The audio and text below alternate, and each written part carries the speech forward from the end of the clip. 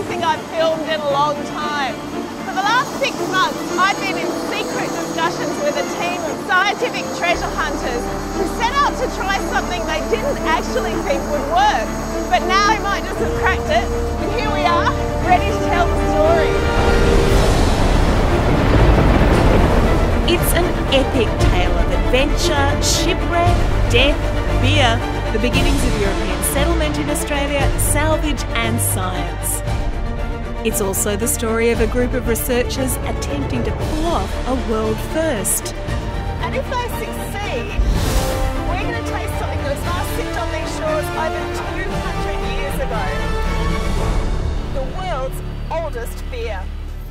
Connect with Catalyst on Facebook, Twitter, Instagram, YouTube, and our website.